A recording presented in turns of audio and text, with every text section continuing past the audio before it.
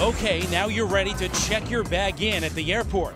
But what if the airline loses it? This device, called the LugLoc, can tell if your luggage never left or ends up at a different airport in a different city.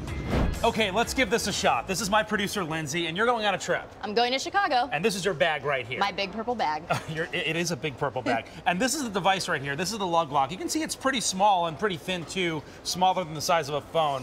So you just stick it into the luggage. Yep, and it's paired to the app right on my phone. So if my luggage gets lost, I'll know where it ends up. Okay, so here's what we're gonna do. My producer Giovanna is here too. You're going on another trip. I'm heading to DC. Okay, so we are gonna give you Lindsay's bag to sort of simulate if a bag got lost. So technically, when you get to Chicago and your bag's not there, like it's lost, you should be able to know where it is. It should tell me right here on the app. Let's see. Let's go. Safe travels. Go.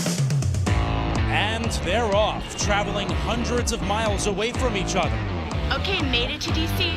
Just touched down in Chicago. So I'm here at baggage claim, and obviously I know my big purple bag isn't coming. But the question is, does the app know where it is? So I'm gonna call up the app right here, pull open the map, and look at that. There it is, right at the DC airport.